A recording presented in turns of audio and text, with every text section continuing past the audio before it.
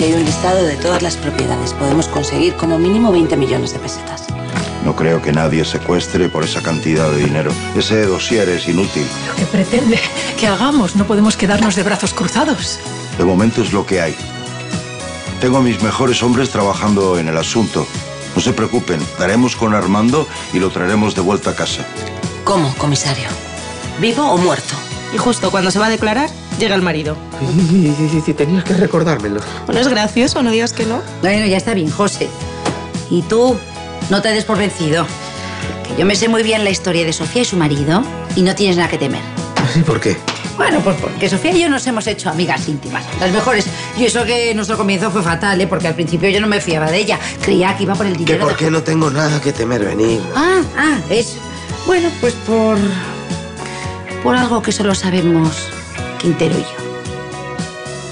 Resulta que he bajado al bar a hacer el inventario.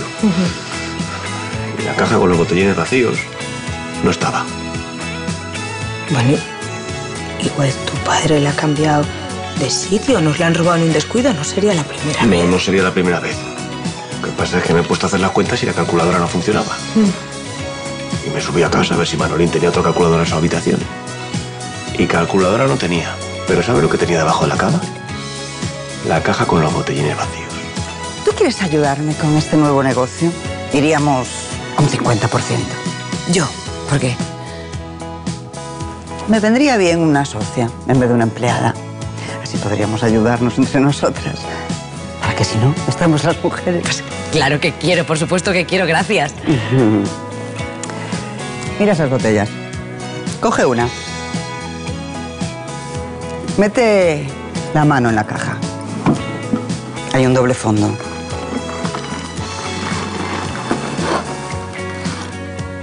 Anfetaminas. Que anoche me dejé el bolso en la radio.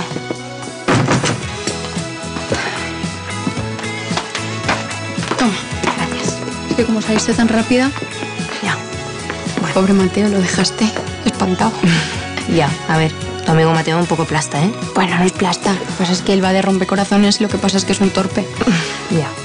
Bueno. A ver, tampoco me fui por Mateo, ¿eh? No te creas. Claro. Me fui porque no, no me sentía a gusto. Besito. ¿Has hablado con mi familia? Con tu mujer y tu cuñada. No van a vender nada y lo dejan todo en mis manos. ¿Te has sospechado algo? No, pero son muy listas las dos. ¿Por qué lo dices? Porque se preguntan por qué los secuestradores no han dado señales de vida hasta el momento. Tienen razón. Tenemos que hacer algo al respecto, ¿no? Tu marido va a poder seguir viendo a tu hijo. Ningún juez se lo va a impedir por mucho que lo abandonara en su día. ¿Y si a la larga es peor para Pablo? Es un riesgo que vas a tener que correr. Ya. Pero Arturo podría aprovechar sus visitas para intentar robarnos. Tú lo que tienes que hacer en casa, nunca dejes nada de valor y nada de dinero. Dice que, que ha superado su problema con el juego, pero a saber si es verdad. ¿Pero estáis juntos o no estáis juntos? Pues no lo sé, Manolita, no lo sé. Porque sí que ha pasado algo, nos hemos besado, sí. Y al principio parecía que todo estaba bien, pero de repente cada vez que va a haber algo entre nosotros, una de dos, o se queda petrificado o sale corriendo. No, Ya, y a ti te está volviendo loca porque, claro, no sabes qué es lo que siente él verdaderamente.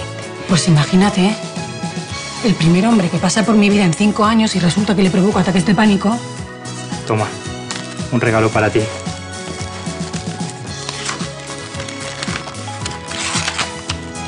Estás hecho un artista, macho. Mira qué juego de luces y qué contraste de tonos. Es para ponerla en una exposición y no dejar de mirar la verdad. A mí me parece una foto normal y corriente. Venga ya, has sabido captar el instante de forma magistral. En esta foto se encierra todo el amor que Marina y yo sentimos el uno por el otro. Te tengo que contar algo, mamá. Dime. Es sobre Jacobo. Me ha amenazado con denunciarme por adúltera. ¿Qué? Me lo dijo ayer. Si le dejo, me va a denunciar. Será canalla, como se atreve. Pero ¿cómo lo piensa demostrar si no ha habido adulterio? Sería su palabra contra la mía. Y ya sabes cómo están las leyes con estos casos. Nunca imaginé que pudiese ser tan mezquino. Está despechado y está sacando lo peor de sí. Esto es para que te enteres lo que vamos a hacer. El sitio que vamos a incendiar es este. No, señoras y señores, Onda Libertad no descansa. ¿Y saben por qué? porque la mejor manera Es mi hermana de Luisita. Ya lo sé, Solerdo. Sin insultar. ¿Y por qué queréis atacar esa emisora de radio? Porque es una maldita radio de rojos. No, no, a mí no me lo parece. Mi hermana Luisita está metida Toda tu todo- familia tiene muy equivocada su ideología.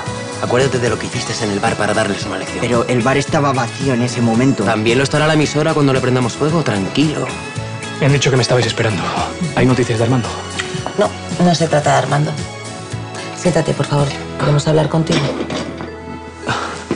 ¿Qué ocurre? ¿Cuál es el problema? El problema eres tú. ¿Perdón? Mi hija me ha dicho que piensas denunciarla por adulterio. Eso solo lo puede hacer un miserable.